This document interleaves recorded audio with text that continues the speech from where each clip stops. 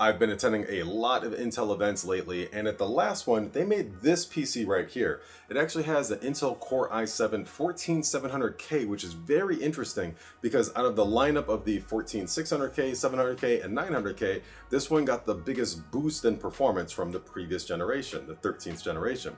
Also, this PC has the Intel Arc A770 limited edition GPU. So I'm really curious to see how well this performs because there have been a ton of updates, like driver updates, firmware updates for this GPU and the line of the Arc GPUs.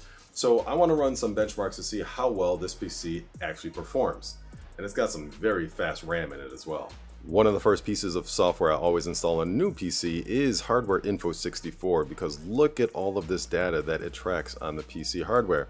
Temperatures, wattage, uh, fan speeds, like yeah, it's all there. 3D Mark is another benchmarking application that I love to run because it's very consistent. All of the PCs that I have, are going to run differently, but when you have a consistent benchmark like TimeSpy, Firestrike, and some of the newer ones like Port Royal and Speedway, it really gives you a nice baseline to work with. I love the lighting in this section. I'm also running this with the side panel off because I'm not really testing the airflow of this case right now. I just want to know how well the Intel Arc performs as well as the 14700K. And what we have here are actually respectable results.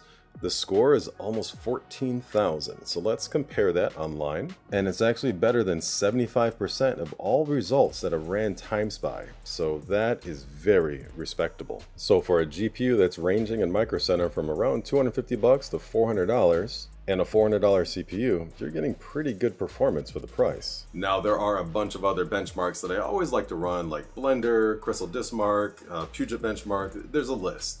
But the point is, I'm familiar with the baseline, and so when I'm testing a system like this, I really know where it stands, and that gives me the opportunity to say, yeah, thumbs up, this is working great, especially paying attention to how loud a PC gets, the temperatures for the GPU or the CPU, is there any thermal throttling issues going on, and how's the cable management?